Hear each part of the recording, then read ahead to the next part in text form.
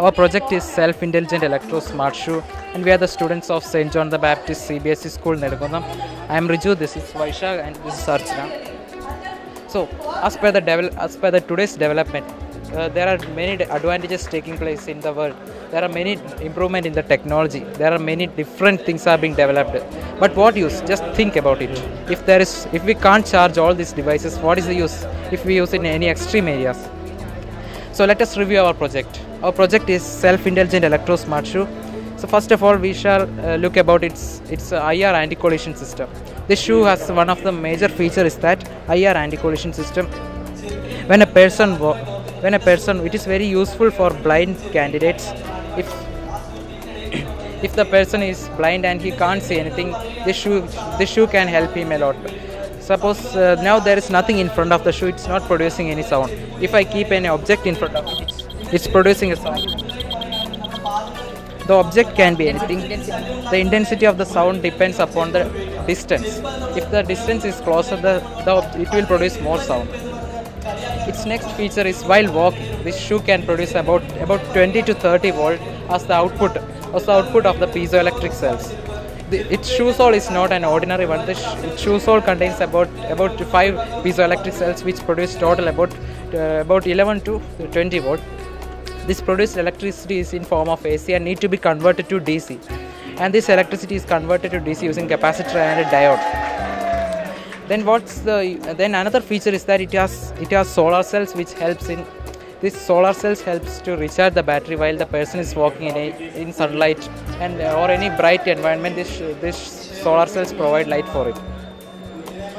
Uh, despite this it has another feature is that it has an rf transmitter. It has an rf transmitter while if the uh, if any person is lost somewhere in the forest or any any extreme area we can find him out with the help of this rf transmitter.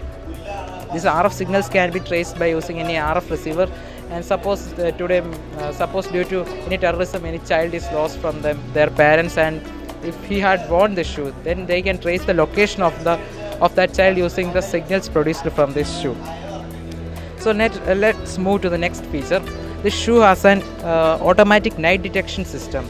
If the person is going is alone and he has no no source of light to to to walk in the night, uh, this shoe can be useful for that. Suppose uh, when uh, when getting into forest in darkness and if there is no source of flashlight or any other light to walk, this shoe is very useful. It has an LDR and it's it's a simple circuit. There is no loss of power.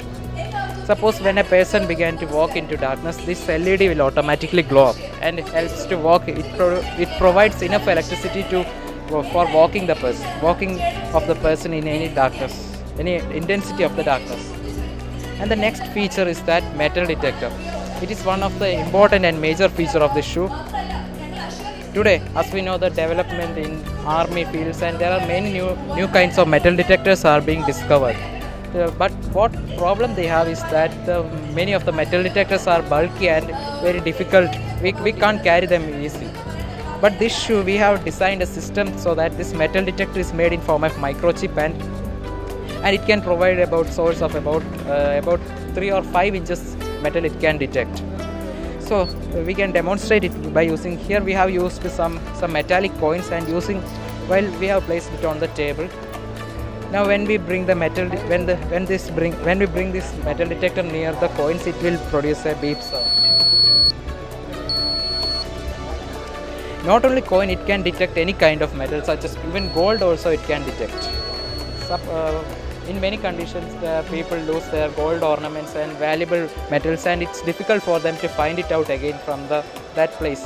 So what they are what uh, this shoe can help is that it is it provides a sixth sense such as metal detection. It is very helpful for the project. By increasing its frequency we can use it for for army also because many are uh, many soldiers are dying each year because of the landmines. They they are getting victim of these landmines and other under, underground mines. By increasing the frequency we can in- increase the range which it can detect the metal.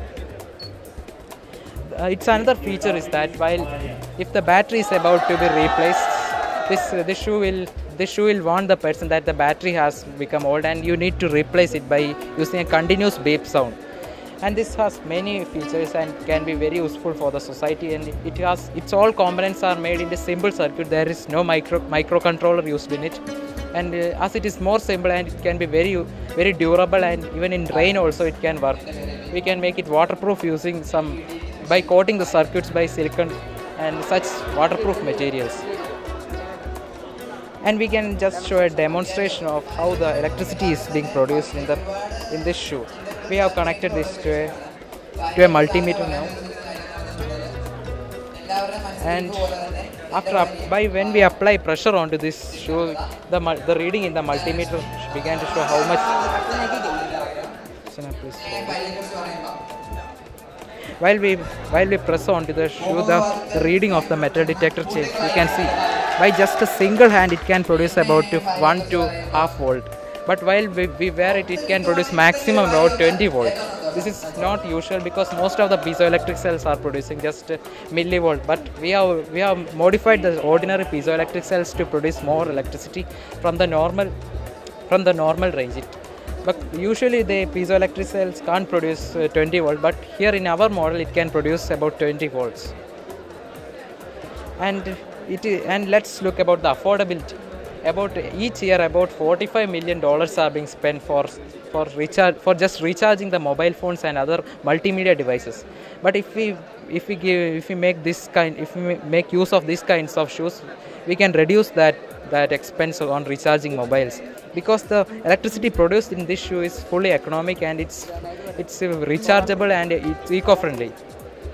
We, we shall show a demonstration of how the it charges a mobile first of all here it's a normal mobile use it's a normal kind of mobile. So first of all we have to c- connect it to the cable. and then the second step is we have to connect we have to connect it to the uh, to the shoe. After connecting after connecting this to the shoe it will it will begin to work and it can produce electricity. And that's all about it. Thanks for watching